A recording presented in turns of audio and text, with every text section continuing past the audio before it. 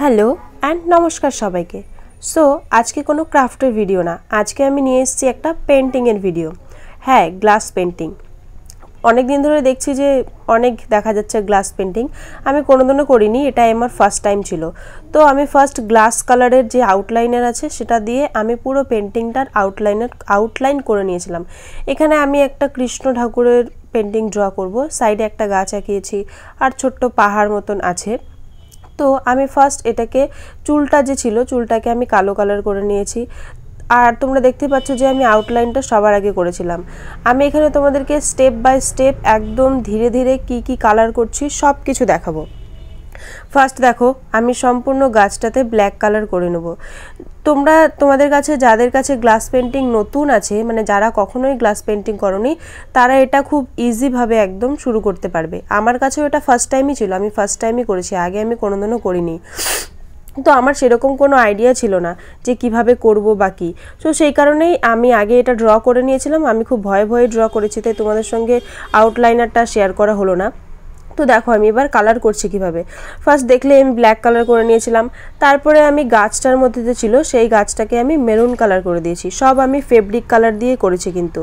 আর এই ফেব্রিকের যে বাক্সটা আমি তোমাদেরকে ফার্স্ট দেখালাম, সেটা আমার একদম নতুন বাক্স। আমাকে কেউ গিফট করেছে। কেউ না, বলতে পারো যে অনেকজন মিলেই আমাকে গিফট করেছে। তো আমি ফার্স্ট এই মেরুন কালারটা দিয়ে নিলাম, তারপর আমি রেড কালার দিয়েছি, তারপর আমি নিচে পায়ের যে পোর্শনটা ছিল সেখানে অরেঞ্জ কালার দিয়েছি দেন আমি হচ্ছে ওপরে মুখের পোর্শনটা আর বডির যে সম্পূর্ণ পোর্শনটা ছিল সেখানে আমি ব্লু কালার ইউজ করেছিলাম। আর ছোট্ট মালা মতন ড্র করেছিলাম আমি একটা, সেখানে আমি ইয়েলো কালার ইউজ করেছিলাম। আর ওপরে যে ময়ূরের পাখনা মতন একটা এঁকেছি, সেখানে আমি গ্রিন আর ব্লু আর মিডিলে একটু ইয়েলো দিয়েছিলাম। তারপর আমি এরকমভাবে সব কালারগুলো করে নিচ্ছি। হ্যাঁ তোমাদেরকে আরও একটা কথা বলি, যাদের কাছে তোমাদের মানে যাদের কাছে গ্লাস পেন্টিং নতুন, তারা কি করবে বলো তো? একটু বড় সাইজের তুলে নেবে। আমার এই জায়গায় ভুল হয়ে গেছে, যেহেতু আমার কাছে ফার্স্ট টাইম ছিল, তো আমি ছোট তুলে নিয়েছিলাম। একটু বড় তুলে নেবে, আর বড় তুলে নিয়ে ট্রাই করবে যত যাতে কালারটা সুন্দরভাবে বসে। মানে যত সুন্দরভাবে পেছন দিকে কালারটা বসবে, সামনের দিকেও দেখতে কিন্তু ততটাই সুন্দর লাগবে। আর আমি গাছে দেখো এই সাইডে একটু সাদা সাদা দিয়ে নিয়েছিলাম। আর পুরো পোর্শনটা আমি ওপরে অরেঞ্জ কালার করলাম, আর নিচে হচ্ছে মিডিলে আমি করব ইয়েলো কালার মিডিলে আমি পরে গিয়ে দেখেছিলাম যখন পেন্টিংটা পেছনে ঘোরানোর পর এই মাঝে মাঝে ফাঁকা ছিল। তো তোমরা একটু ভালো করে ধ্যান দিয়ে দেখে নেবে যে মিডিলে যেন কোনো ফাঁকা না থাকে। মিডিলে যদি ফাঁকা থাকে তাহলে যখন গ্লাসটা মানে পেছন দিকটা উল্টাবে, তখন দেখতে ভালো লাগবে না। জানি না ভয়েস কেমন আসছে, কারণ আমার সর্দি লেগেছে শরীরটা একটু খারাপ আছে।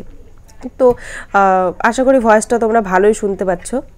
দেখো, ওপরে যে অরেঞ্জ কালার ছিল, সেই অরেঞ্জ কালার আর ইয়েলো কালারটা আমি সুন্দর করে হালকা হালকা করে মিক্স করে দিলাম।